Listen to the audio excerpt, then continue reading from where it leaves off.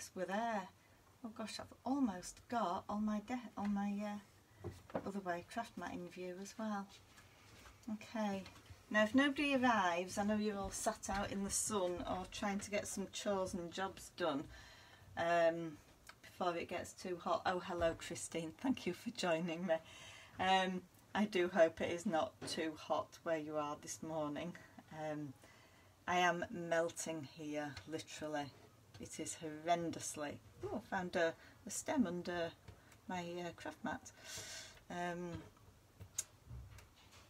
it is horrendously hot here.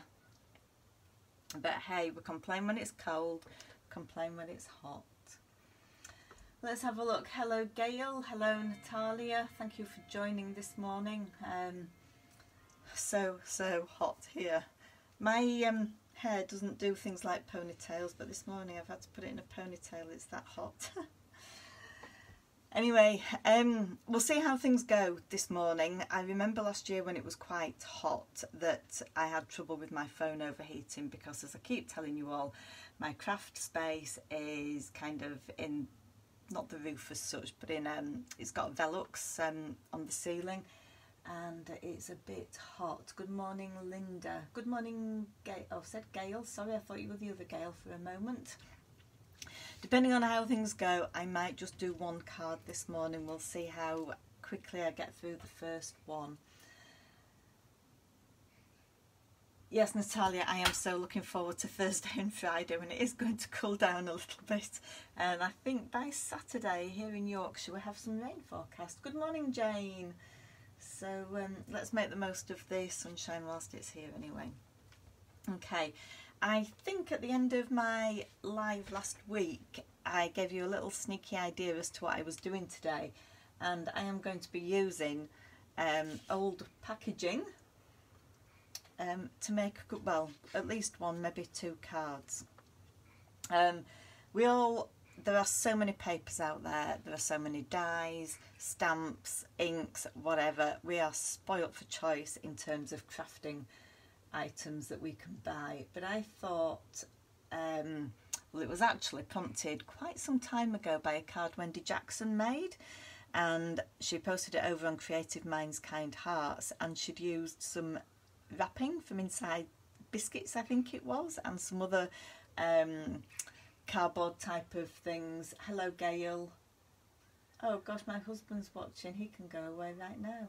Um, so I've collected some waste packaging and I am going to use waste packaging today. He's still watching, he's supposed to be doing the gardening.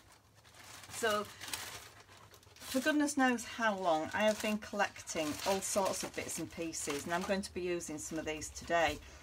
Um, I have bright lime green corrugated cardboard and I also have it in white and I have it in like um, a lilac pale purple lavender colour and all of these bits came out of perfume bottle packaging. You know the boxes that you get your perfume in these days. Good morning Anne, good morning Diana. Um, I cut the pieces up and I have used them before. Um, I'm trying to think, I think it was Liz, Cav Liz Cavill that um, I sent a card to using some of these. I also have corrugated white paper. Looks like it might have come out of a box of chocolates. And I have much thinner corrugated paper which came out of, biscuits. Um, the biscuits similar to ones we get on holiday but they're called, oh gosh can't think what they are. They're two plain biscuits with chocolate cream in the middle and they have that packaging inside. So that's some of the types of packaging I'm using. And then more recently, I've noticed that tissue boxes come quite nicely patterned. And I've got a couple of different tissue boxes in there um, that I've been saving, um, along with um, some Clinique moisturiser card. I've got enough there to make some leaves and stems. So all sorts of day-to-day -day things that you can use in your card making. And this, this is a really nice one. Um, this box um, Amy got um, last week with a, a, book subscription and I just love the colours on here. Um, and I think that will be very useful at some point. So I am going to make a card today. I've got a blank 6x6 craft card and this along with some purple jute string are the only two things that are new today that I'm using, okay, that I've bought, paid for. I'm going to start off with what is a roll of corrugated, not quite corrugated, it's got dimply squares on it. And this is packaging that came in a candle that we got recently. And I am going to use some of that as the basic mat on my card. So I'm going to very, oh gosh, it doesn't tear very easily. I'm going to very quickly and roughly make it into a slightly smaller square. Let's have a look. Good morning, Bernadette. Hi, Shelley. How you doing? Great to see you here. I would imagine it's hotter in Spain than it is here, so I'll quit complaining about the heat. Okay, not quite square yet, but I'm not too fussed about it being perfect. Okay, that will be fine for the background. Um, for my next layer, I took some of that corrugated biscuit wrapper and I've used one of the Lisa Horton nested and scalloped square dies and that's going to layer up nicely on top of there. I've also used some of the Lisa Horton large foliage dies and I've cut out of some of that candle packaging again, the brown stuff, um, some of the large leaves. Now they they are so so delicate I need to be careful what I do with those but you may oh yes you can still see I think there is um even though I've run them through the, the big shot and the, with the die, you can still see that there is um, the impression of the knobbly bits on the paper. And then I'm just checking that the light's okay because I've uh, not got the blind completely down. Let's just have a look. Is that light okay for everybody? I've lost my comments. Oh, Shelley, 35 degrees today. Heck. Good morning, Mary. Okay, I also used some of that lovely lime green packaging and I've cut out some more bits of the large foliage with the rubbish. And then with the Lisa Horton Build a Bloom dies, I've used three of those and I have cut out, oh gosh, these flowers, I think they're gorgeous. The colours are lovely. Um, and for this I was about to throw this away but gosh what a gorgeous turquoise inside and on the outside um, it's not necessarily it's got a little bit of um, a basil type of paper texture to it and a pattern on it and that was um, a Molton Brown home linen mist box that nearly went in the bin saved at the last minute so for this I am going to just with um, one of the Tim Holtz Distress Ink pads, walnut stain. I don't have many of these, so the same ones get used again and again. I am going to just lightly put the ink pad over there so that all the, the raised knobbly bits get a little bit of ink on. Okay and that then is just going to be glued straight onto my card blank. I always wonder um, whether Collall is the right sort of thing to use here or whether I should have used, I don't know, some dimensional glue but I have done this before and the Collall did seem to stick it okay. It really doesn't matter obviously if the edges um, aren't stuck down as long as some of it sticks. Now I'm going to put that on at a bit of a, what Elizabeth would call a jaunty angle. Bit cloudy up in Scotland, Gail. Ooh, look at you. okay. My next piece of scrap is going go, yeah, again, I, I'm going to put it at like the opposite angle so that I'm not having to spend any time at all in terms of checking to see if it's central or anything like that. Okay, so next foliage. I am going to place, I think, my flower down there. So what I will do actually is I will just put the flower together first. I am not going to build it up in terms of foam or packaging or anything. I'm just going to put it flat straight onto oh,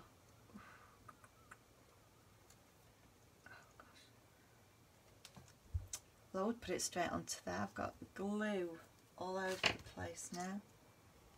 Okay, just get rid of some of that. Okay. Don't use too much glue when it's hot because it goes everywhere. It's a bit on the runny side today. So my Build a Bloom there, I've just used alternating colours and I love purple and turquoise together. I think, I don't know, is it turquoise? It's a shade of blue. It's I don't know what I'd call it. So I'm going to place then some foliage starting at the bottom right because I know I'm going to cover that up with um, with the flower okay? I might just snip a tiny bit off that stem so it doesn't show underneath the flower not necessarily that it would matter okay? Now I'm going to have to be so careful with this because as I said to you once it's been through the big shot this paper is so delicate. So I am going to glue with my Cosmic Shimmer on each of the leaves and just put a couple of tiny bits along the way which hopefully other bits will uh, help to hold it down. Tweezers and this is going to have to go on first time. Okay, there we go. so it will stick. I'm quite confident it will all stick in the right places. Let's add a little bit of green foliage. So just check that I'm going to get it so that it's covered up all the stems and the messy bits by the flower. I love the large foliage dies from Lisa Horton. It was one thing that I never really bought, um, like foliage dies.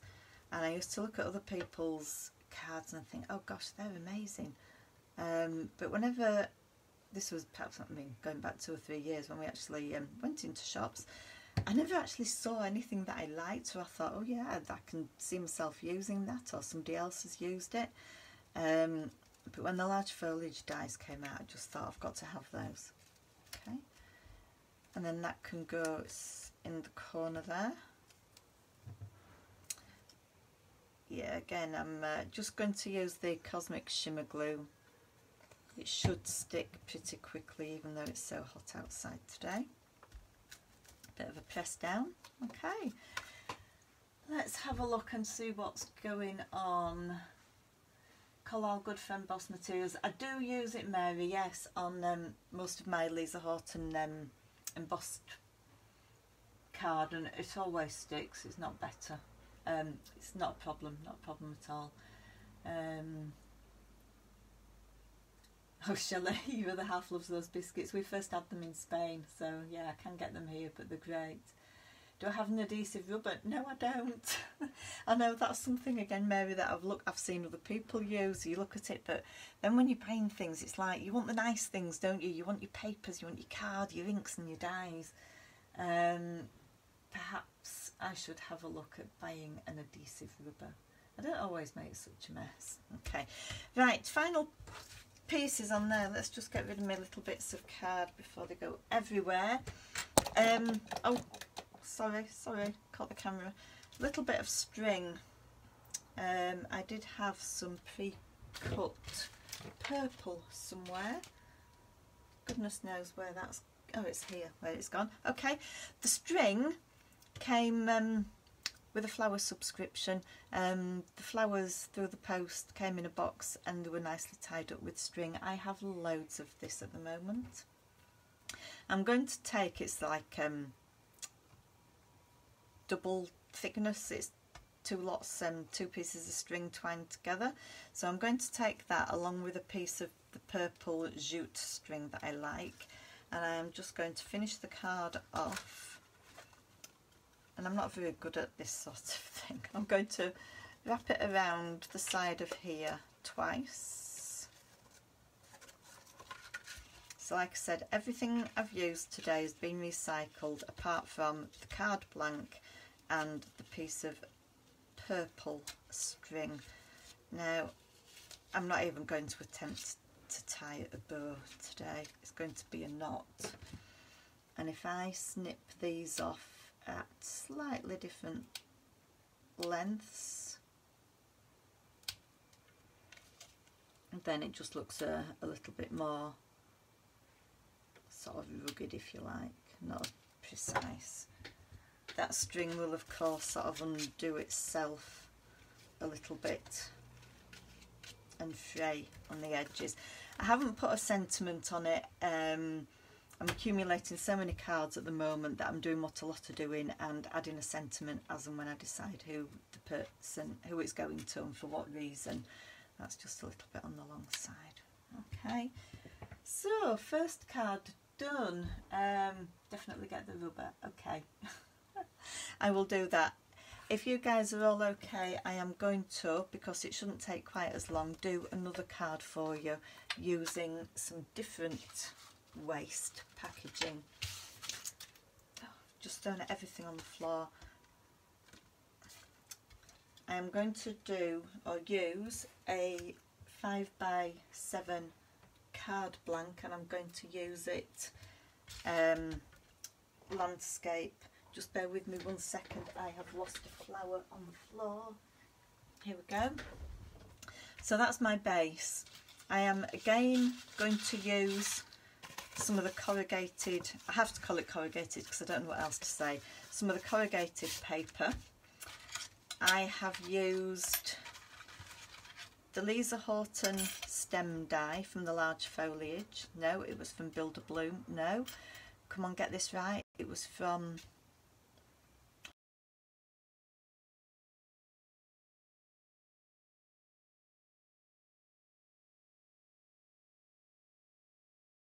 before I had with little three little leaves on.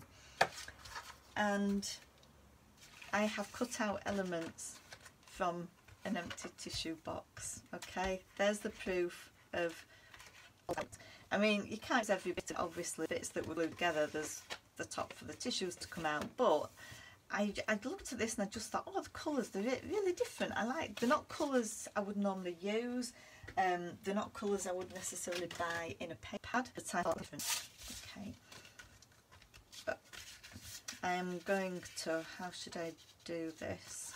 It's really raggedy is this, but let's get rid of the bottom bit. I'm going to have going to be the there. Okay. And this one, I could have done the other one coloured to match the purple actually um, but this one I want it to look more like um, maybe it's soil so I'm going to put that on another one and it doesn't matter it's some of it's gone in the valley type of bits of the paper the debossed bits but it's okay it doesn't matter so that essentially is going to be the soil I have three of the stems already die cut. I have three flowers and I have three tiny bits of foliage. Okay. Uh, perhaps, I don't know, my mind would normally say the stems have to be green or the stems have to be brown, but I thought today we're going to do it all in used tissue box. okay. Um, so first things first, can't um, glue that down yet because I want to place my stems coming out of the back. So I need to plan this. Pick it up. Fingers and thumbs. And I need to make sure that there's enough space there for each of my flowers. And I want them to look quite even.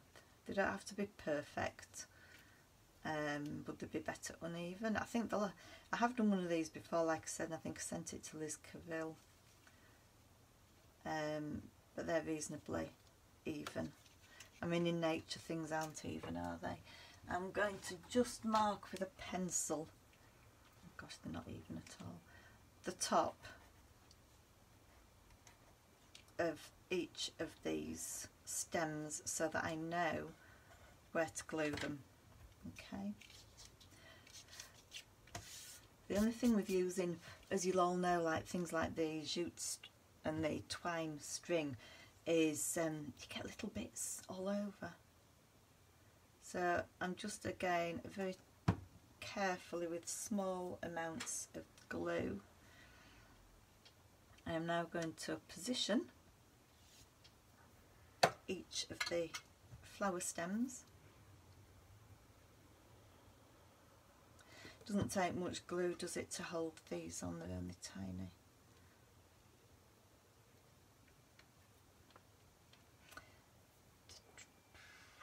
One is here. Okay.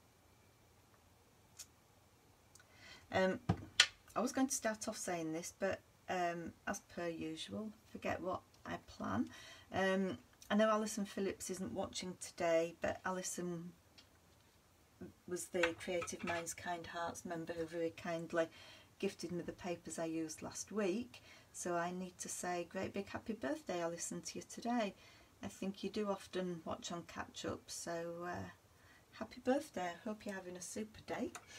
And Jenny Livitt, um, Jenny, I know you're not here with us this morning. Um, but Jenny, birthday on the 24th, so happy birthday to Jenny as well. I'm going to stick my soil, call it soil, on the bottom. Just going to get rid of a little bit more of that. Okay. Back with the Collall glue. I'm getting very little crafting really done at the moment. I don't know about the rest of you. Um, Christmas cards are still my priority. but too hot at the moment to do any type of crafting during the day really. Okay. Again, I'm, I'm going to keep, because there's some texture on there, I'm not going to um, bend or curl or make any of these flowers um, 3D and pop out of the card. I want to just keep it nice and basic if you like. It doesn't matter at all which way any of these go. It's a lovely shaped flower, is it? So over on Creative Minds Kind Hearts, this card for this month's alphabet challenge will count for the Z. Make a card with zero waste. I know it's a bit of a play on the words, but this is the waste and I'm, I'm using the waste. Okay. The other card that I made could be um, T, tie on a piece of twine. So I've got two of my cards there. I haven't left much right hopefully the the phone hasn't waited yet so I'm, I'm gonna have to get one of those uh, rubbers Mary aren't I? Get rid of that quickly it's disappeared. Okay. Next one. So after this I expect you're all going to be having a a root around your house to have a look and see what sort of packaging you've got, how colourful it is, what you could use it for, how big the coloured pieces are. But I tell you, the tissue box were box as were the empty. I think, uh, well, Amy kept all the boxes from years back of I hadn't everything down to go in the recycling bin. I'm thinking, oh crikey, I could use some of these. Okay. Um, haven't put anything in the middle, have I, at this stage? Um, I think actually because of the pattern in um, in the card, I think I might just leave that like that. Um, again, no sentiment. I might just squeeze um, a hello down here at some point. Um, it's simple. It's easy. it might not be everyone's favourite, but in terms of using up your waste packaging, not a bad idea.